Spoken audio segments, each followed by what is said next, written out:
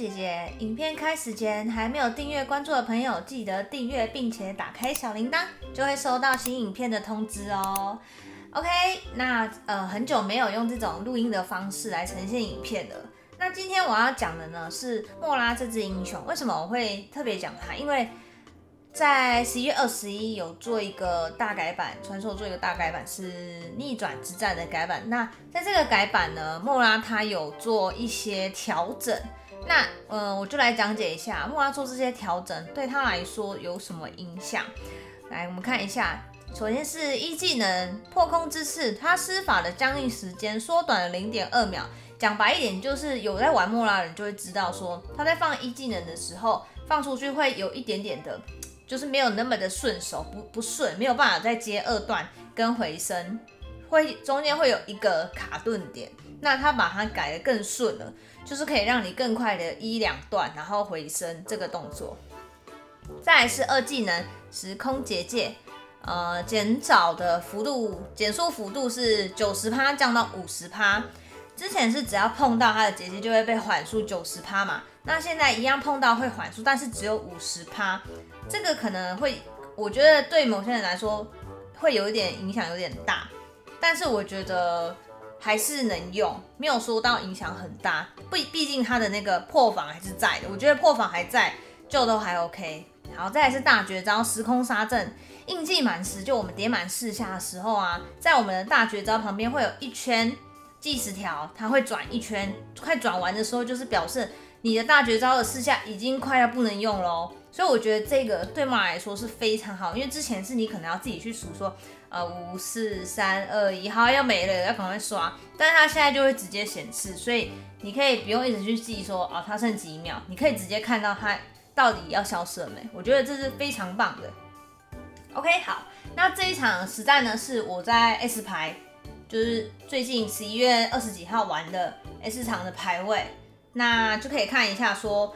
哎，莫拉实战之后到底是强还是弱？可能会有人问说，那姐姐你觉得这样应该是改强还是改弱？我自己是觉得，对我来说，我觉得它是改强，因为在操作的上面，呃，它的顺手度是变高了很多，所以有在玩莫拉或者是准备想要玩莫拉的，可以试试看。我觉得他在这一版算是非常非常 OK 的一只英雄，打野英雄。嗯，好，好，那看到这边哦，已经到了五等了。对，那我去反掉了对面的小野怪。对方是把魔龙吃掉了嘛，然后去反我们的蓝，然后看到他们还在打，我收完他们我们的他们的蓝之后，我又回来过来这边先叠一叠，然后二，然后再一，然后再跟着刷。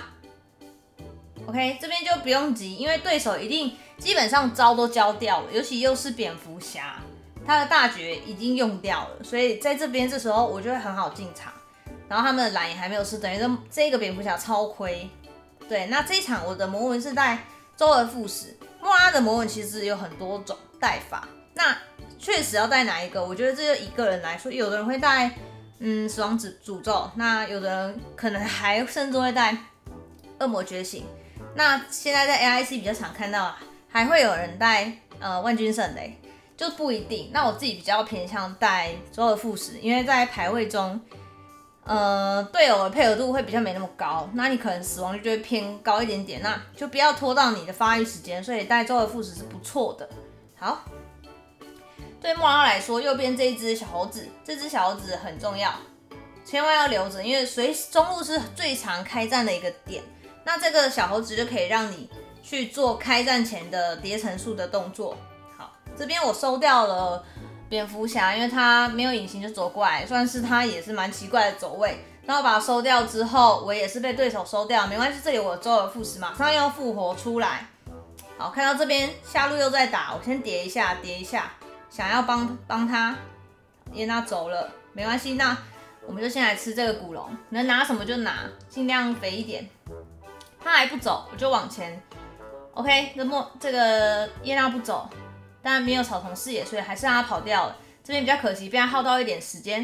这边蝙蝠侠要过来，那我先叠没关系，不要紧张，先叠之后过来，然后一二之后就刷，刷完之后叶娜用霸体形态没关系，普攻他就会死了。这边灵鸟还在，我还可以继续叠，叠完之后还有兵，那就继续看这一个塔有没有办法推。这边有两个人来守了，那一样先消耗，那不行就直接走掉，不用再浪费时间。对。那最近呢，姐姐已经从金刚直播转到 FB 了。就是如果有在跟直播的人，就会知道，就我在十一呃十月之前都是在金刚播。那从十一月开始，我就已经转到 FB 播。那十二月这个今年十二月开始，就是正式是 FB 的实况组了，已经有签约的。所以希望大家想要再看更多的实况啊。传说的实况，欢迎到姐姐的 FB 来看，每天晚上九点就会开台，记得要按赞，然后打开小铃铛，抢先看就会收到开台通知。OK，这边蝙蝠侠很调皮，我觉得他真的是有一点调皮，就是很想为了为了抓而抓。玩莫拉的要点就是你要看清楚。你这一把你要抓的是谁？对，然后对手有没有什么招用过了没？这样子，千万不要看到人就想要叠，而且进场进场叠四下这件事情是做得到，但是呃，非手速要非常的快，以及你的眼睛要看好那对手的释放技能的动作是什么，然后你要用你的。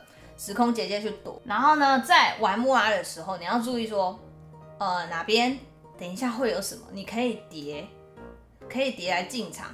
有的人可能会说，啊，又不一定要有要有旁边的野怪才能进场进场这个输出，但还是呃安全为主啊。我自己的打法是这样，可能有的人比较打法比较凶，就比较不会这样。那我自己是这样，我会习惯让自己有东西可以刷。这样是最好最好的续战能力，不会说你只有一波小兵，然后刷完就没事做，因为你没有野怪，没有小兵能叠的莫拉，在一个多人的会战当中，你要去叠完四下，基本上你也残血了，所以你要再去做后续的一个续战能力，实在是有一点点困难。再是莫拉这只英雄，它需要发育，它没有办法说前期就像纳克罗斯这样机动性非非常的高。然后输出非常的高，所以他一定要多去跟人家蹭兵线一点点。所以你不要不好意思说啊，这个是谁的，就一定要让他这样。你们可以一起吸，一起吸。其实你看我这场，我会上中下就都去吸一下，吸一下，吸一下。这样其实对发育来说是非常快，因为如果你打野光打野的话，一定会穷死，真的会穷死。所以不要客气。好，那我赶紧先靠过去，先叠个四层，然后靠中。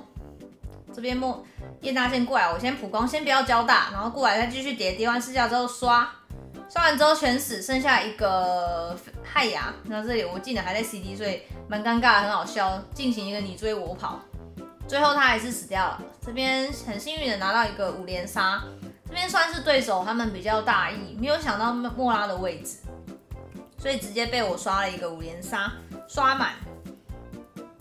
高地战莫拉真的超强。那是超强，尤其是顺风的木马，那跟鬼一样。这边地图中我有看到，我们的脚下那边有超多人，所以要注意一下。哦，这边皮皮玩的不错，有救了我。那我残血，先到旁边来。这只野怪还是能叠，虽然我很残，但是还是能去再去刷一波。对，因为毕竟我不会受到伤害嘛。诶，又不见了，好，可能是被我打死了。OK，这边感觉是可以一波 N gain 哦，但我血量还是有点残，不要太大意，不然可能要变三十不好叠，就在后面一一二一一二就好了，因为没东西可以叠了，就不要硬到硬打到底。这场拿下来顺利拿下来是没有问题。好的。那如果有什么问题，莫拉的问题，或者是其他问题，或者是想看我出什么其他的影片呢？欢迎在下方留言，我都会一一回复你们，然后帮我按个赞，按个喜欢，感谢你们的观看，记得要来 FB 看姐姐的直播哦。这场打了一个四十一点五趴，非常的 shock，因为呢，这是在我这是在改版之后我第一次用莫拉，结果竟然得到这么惊喜的一个输出。所以平常在玩莫拉，或者是想要玩莫拉的人，这一季非常推荐你玩莫拉哦，可以去尝试看看。